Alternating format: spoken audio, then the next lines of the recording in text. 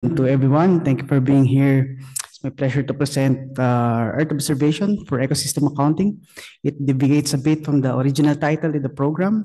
It's more, I would say, tailored for this EO application to uh, this ecosystem accounting using a certain framework called SEA, S-E-E-A.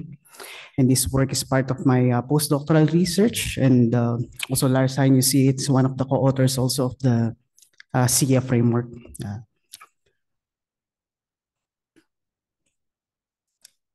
Yes, so of course, um, I'll talk about uh, EO and then the application per se uh, for ecosystem accounting. And then I'll show some like the initiatives, the current initiatives that really pushes this EOEA, uh, well, uh, complementation. And I also show um, very useful EO data, very recent as well, uh, and also platforms and tools designated for uh, for this uh, EOEA uh, implementation. And of course, we can uh, discuss more about it after. Uh, this should play, hopefully. No. I hope uh, doesn't play, but uh, it should go around. It should, uh, like it's a visualization. Uh, let's all appreciate this uh, visualization of uh, of a biomass map, carbon map produced through using radar remote sensing through the Climate Change Initiative project. Uh, yeah, this map I've been I've, I've been using this map uh, ever since uh, I did my PhD. Uh, well, we produced a bias corrected map of this uh, uh, biomass map, and which is very useful for uh, climate modelers and also countries for their carbon accounting mandates. So uh, this map alone shows that, of course, uh, EO can provide such map at a globally explicit, which is very useful in the uh, user perspective. Yeah, I, am not sure if this slide is uh, uh, very much needed. I mean, but consider this as a refresher. Of course, EO, so it's uh, and remote sensing are interchangeably well, uh, are, uh, people often interchange the two uh, broad terms. Of course, EO is more of like how uh, we look at the planet, how we do a, health checkup of the planet using the sensors, of course, uh, mounted from uh, satellites, which where remote sensing technology um, is, is used. So, of course, EO, globally explicit, regular, accurate, continuous measurement of our planet. And of course, the RS technology comes when, of course, you have sensors that can depict uh, the energy uh, from uh, from the surface uh, um, uh, to this electromagnetic spectrum. Uh, so, of course, sensors can depict certain energy depending on the wavelength also and the frequency. That's why we have optical radar, LiDAR sensors also, remote sensing. and it's all about the signal, I would say. Uh, what I'd like to emphasize more is that uh, we're really indeed in the uh, EO golden era. It's like if we would quantify that, there's like uh, like really thousands of operating uh, operational satellites orbiting for a planet since 2021. And um, of course, majority of that are uh, also are um, tailored for environmental monitoring. And uh, there's also a list of satellites that are about to fly uh, very soon, uh, so especially for forest monitoring, such as the biomass satellite, NISAR, and so on. That's what's more interesting also is that they're like uh, smaller, micro, and nano. Uh, it's going smaller, the satellites that fly uh, um, for, for well, for monitoring our planet. These CubeSats also is also making their own way of uh, yeah in, in the EO domain. And that's very much in line, of course, with uh, the, the big EO data and um, well, uh, the data cube formats that are being more common now for these for using this EO data uh, for uh, uh, various purposes. And then talking about um, uh, EO, uh, particularly for the environment. So as I mentioned, there's uh, quite a few satel- uh, a lot of satellites that are uh, producing data sets can be used for uh, to produce maps of environmental variables.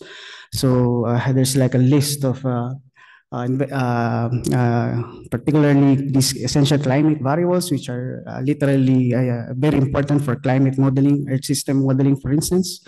And uh, one of them is like the biomass map I showed earlier. And of course, we are uh, we can we are aware that there's a lot of uh, global land use land cover products now uh, as high as 10 meter resolution, as frequent as two every at least one month uh, temporal resolution.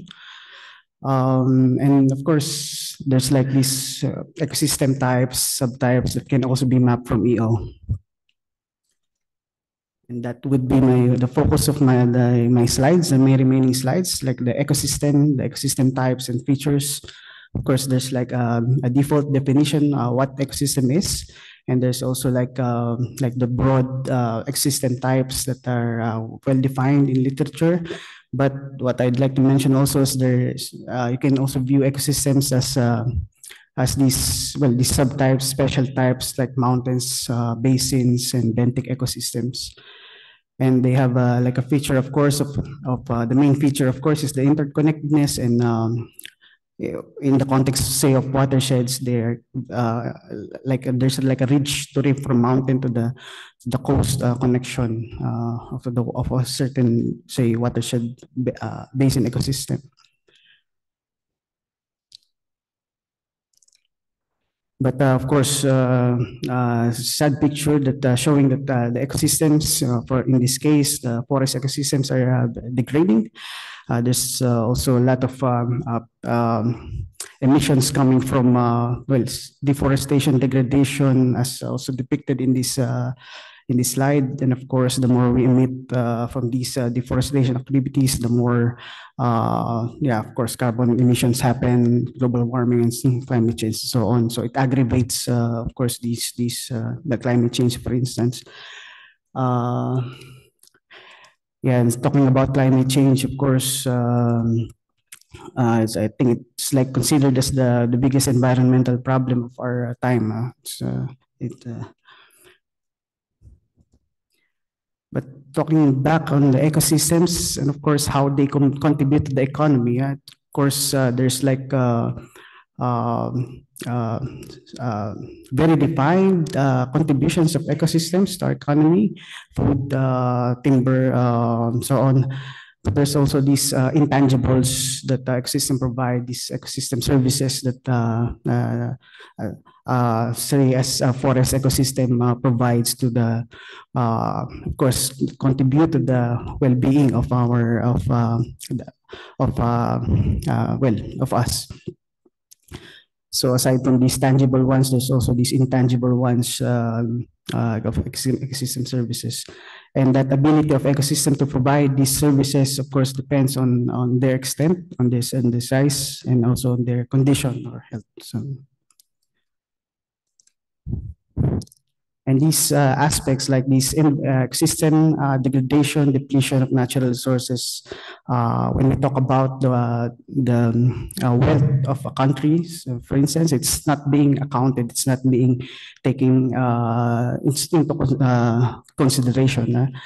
Um, and the way we assess the economic health wealth of a country is ever since is that uh, there's like a series of uh, economic indicators like GDP, which uh, is, uh, we say as an incomplete indicator because of that uh, notion that, of course, the ecosystem and uh, services they provide should also be accounted and considered. Um, and that has brought to the to the uh, origin of uh, ecosystem accounting. So, uh, given the context, uh, given the rationale, of course, that nature deserves better, and there should be a systematic uh, a system that uh, can measure and hopefully halt the depletion of these natural resources for sustainability purposes, of course and uh, way, a way a system to really quantify and um, assess the contribution of uh, the ecosystem to the natural wealth of a country. And of course, that could be a strong basis for crafting policies and allocating budget for, for, for uh, ecosystem conservation. And uh, that uh, that of course has gave birth to uh, the gave birth to the ecosystem accounting uh, context.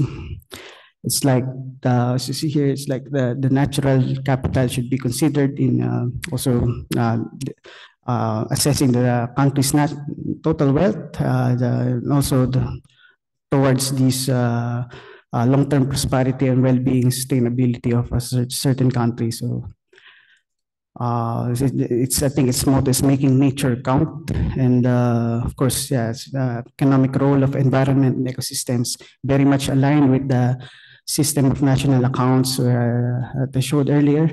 So we can really compare apples to apples when we try to uh, assess which uh, is an, which, which are economic contributions and which are ecosystem uh, contributions to the yeah. And uh, yeah, it's it's it's like when you say talk about EA, also it's some it's also synonymous to SEEA or this uh, system of economic and environmental uh, accounting uh, framework, which I'll talk more uh, in the in the upcoming slides. Um, so this EA, this SEEA timeline, so it is it's relatively new. It's like uh, it's been conceptualized in 2009.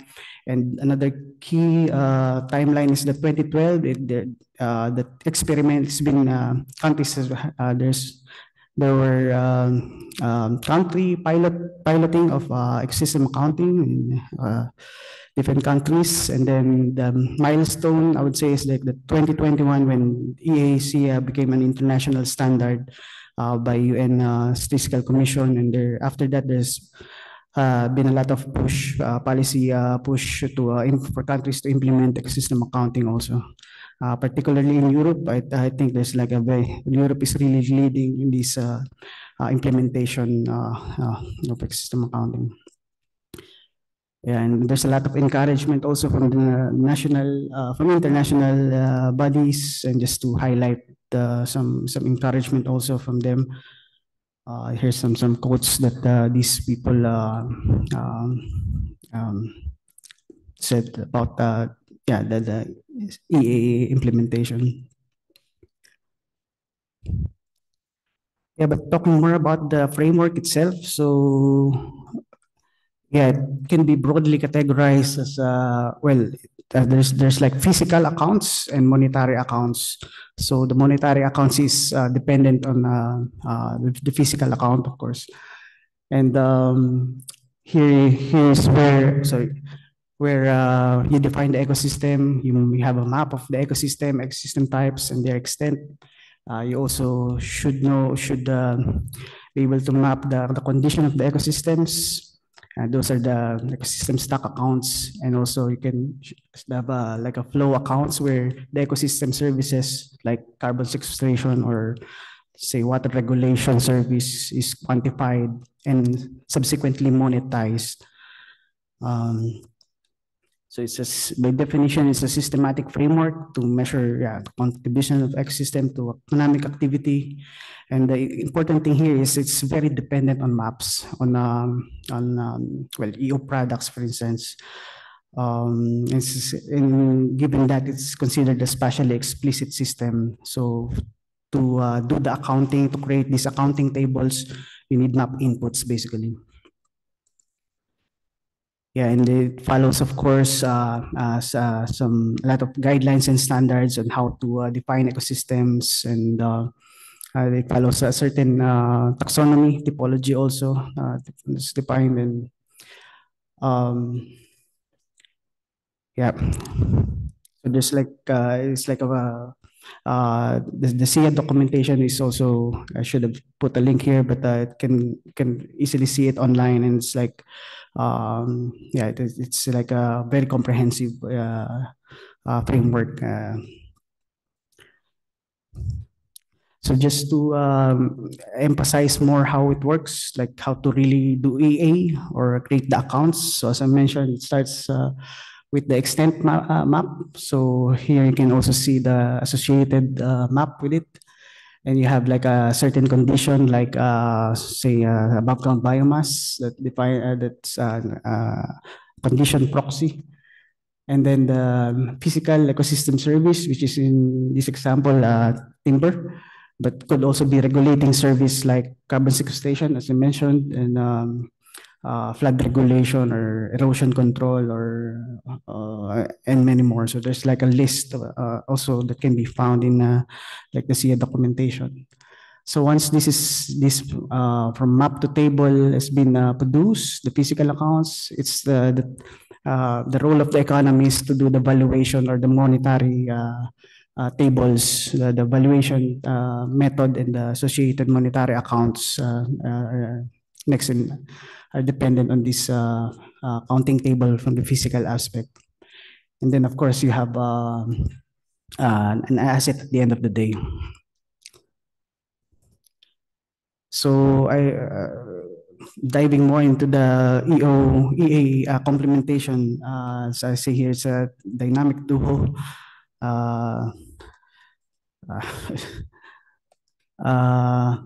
Uh, uh, uh, yeah, of course, as I mentioned, it's uh, doing is really uh, uh, well ecosystems per se are, are of course spatial features can map it basically, and uh, with EO you can uh, in theory do EA at any spatial extent. Um, you can do EA at any countries and or or.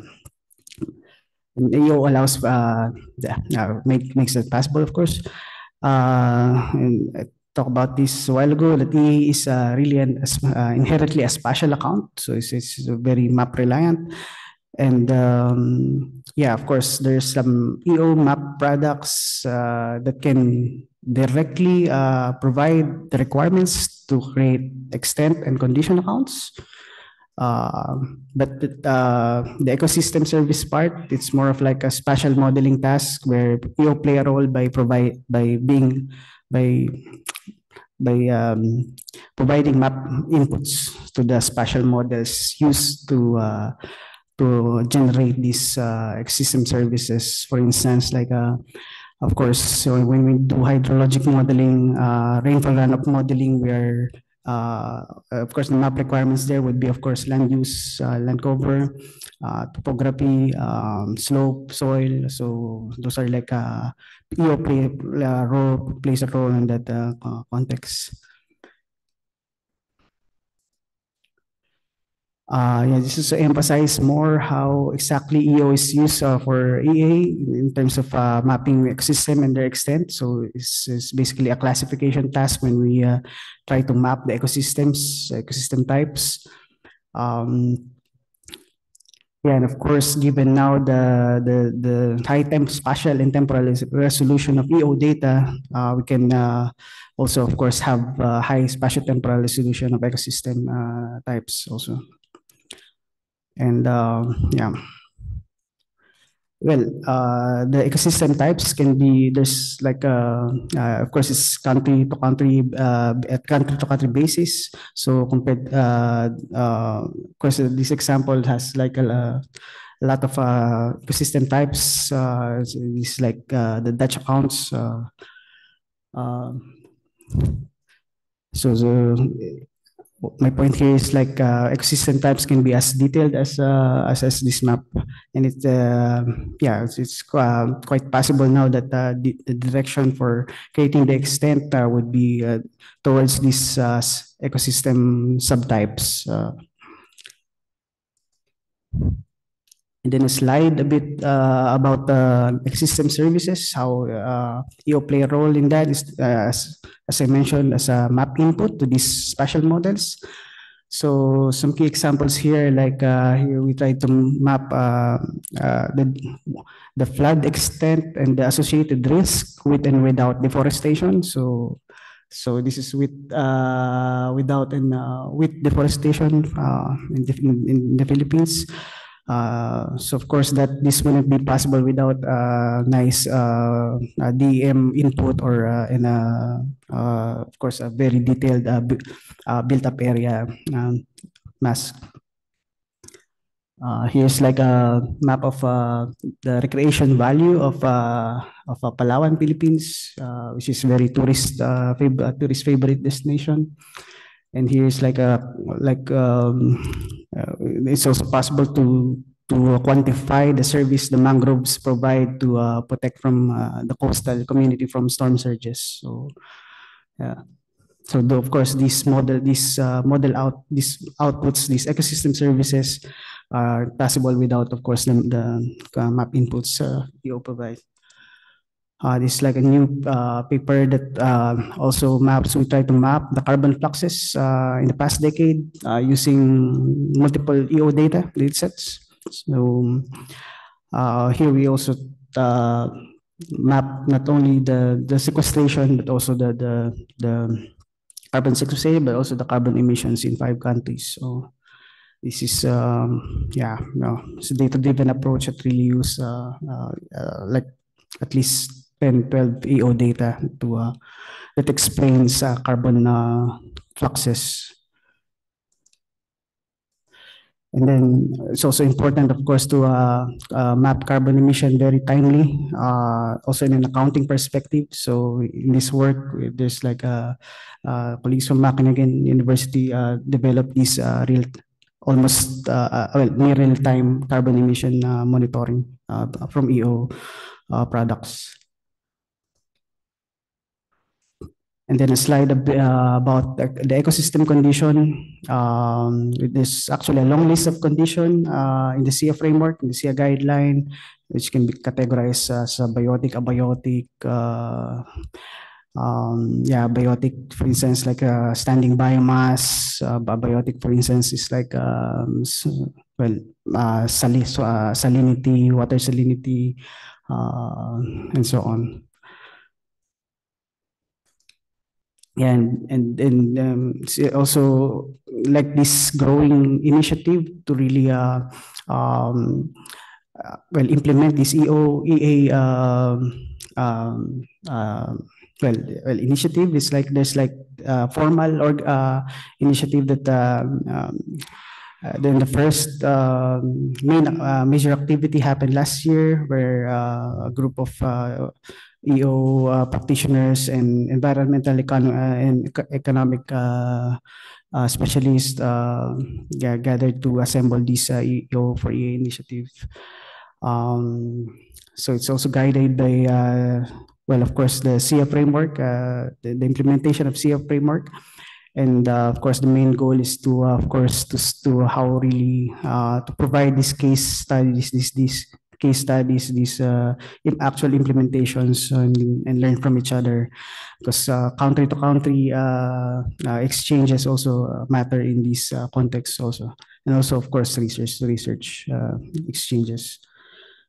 there's you can visit the website here and you can see like um, like the numerous examples categorized uh, the, uh, the, uh, it's like uh, the ongoing researchers, researches and initiatives that, that's I think they categorize it based on the EA component, whether it's like related to ecosystem extent, condition, and ecosystem service. And also there's like a, so the, the economic part where the, about monetary valuation of, of the accounts. So just um, uh, an FYI, so as I mentioned, there's like a strong push uh, to, this is like the current uh, countries that, this, that already compiled the accounts, but there's more, really more to come in, in the coming years. Uh, as I mentioned, the policy push, of course, there's this EU Green Deal, and also the EU is preparing a, a, a legal proposal for, uh, of course, uh, European countries to really make this required. And then there's also like a lot of global initiatives that uh, that are implementing ecosystem accounting using Earth observation also. One is this uh, the, the MAIA project, and of course the Open Earth Monitor project. Uh, ecosystem accounting is part of the, the, project. There's also a, uh, several more that uh, that's really uh, uh, it's considered a global initiative of the EOE.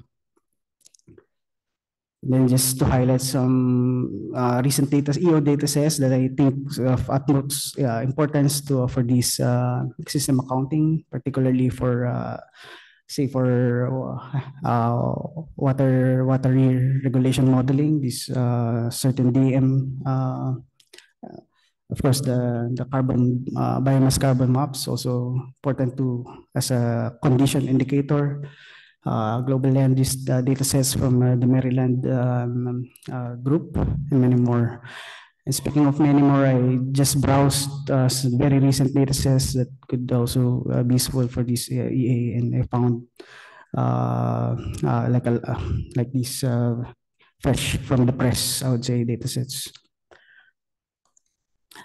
Of course, uh, to increase user uptake also, uh, country adoption and all. So there's also uh, these recent uh, interactive platforms that that uh, where users can actually do generate and compile the accounts uh, online. So of course, it's uh, like it promotes rapid EA and also promotes transparency and reproducibility. And uh, of course visualization and uh, so so useful for stakeholder presentation also especially for politicians. So just uh, examples of uh, this interactive platform that uh, where users can do system accounting and i'd like to highlight several of them. Uh, very interesting is also and very mature is also this ARIES platform where it's it's, it's like an uh, based on machine reasoning uh, users would type a certain, I would, uh, um, well, would say that uh, they need a system account on this watershed and this temporal period, and uh, the system uh, in ARIES would provide them like the uh, like the most relevant data sets to use to, for this uh, system counting in that context.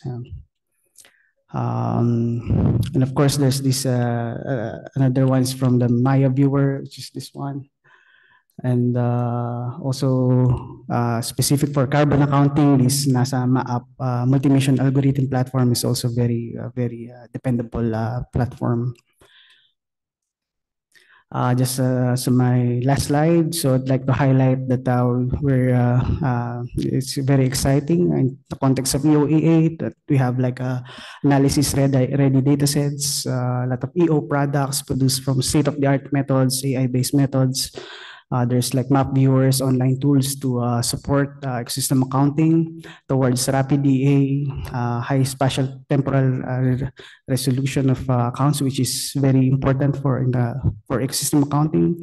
Um, and of course, that also paves the way to uh, create scenarios also considering climate change.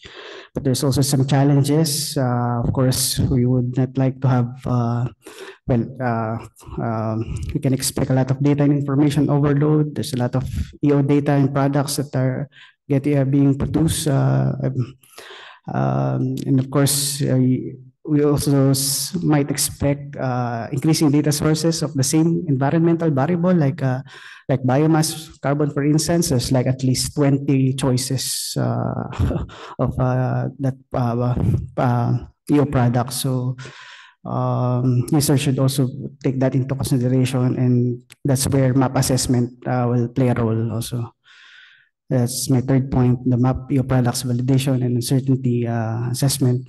And of course, uh, it also requires a bit of uh, uh, technical domain requirements and some logistical hardware software uh, modeling background. But uh, with the advent of these tools that does the work for us, the carry the the, the heavy work, I think the future is bright for this ecosystem accounting and and um, yeah.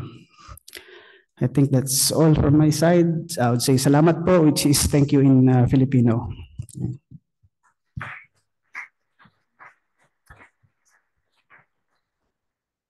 Thank you very much, Arnan. And now it's time for Q&A. Any questions from anyone?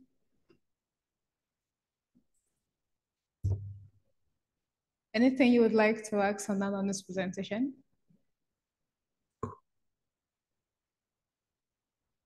Okay, it looks like there's none. So thank you again. Thanks. And um, this brings Maybe- us, Okay. Uh, please, anyone?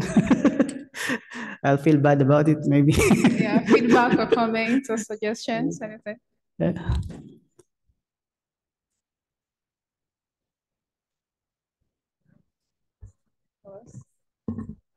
But sorry?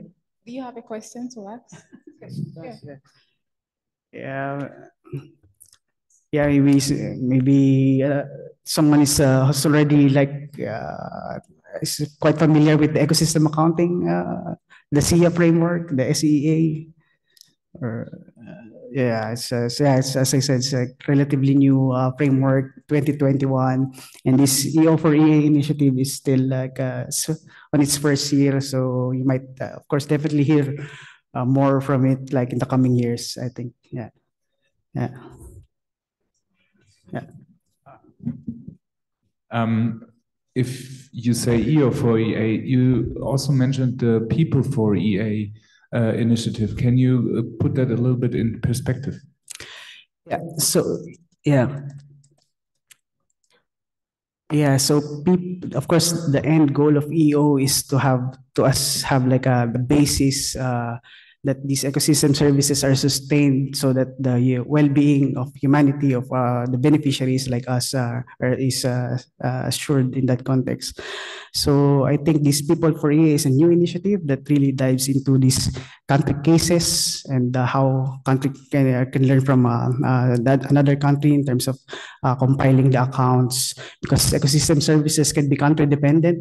Like in mountainous areas, uh, you you would expect a lot of uh, erosion sediment uh, regulation service of uh, say the forest ecosystems, and of course in uh, like a flatland, uh, you can expect a different ecosystem service. So, so it's more tailored to this uh, certain ecosystem services type and how, of course, the how how the services quantified are are, are, are the methodology that that quantifies the services are also of course in coordination with the stakeholders and the policymakers. So I think that's uh, yeah, so, the so main basically, initiative. what you're saying is that if you develop a model for, let's say, the Netherlands or something, then you could also partially apply it to Belgium or Northern Germany or Mm, exactly, accounting especially the methodology part, uh, because Yeah. this concerns like uh, not just the much. modeling, but also the monetary valuation that also uh, associated. Thank you. Yeah.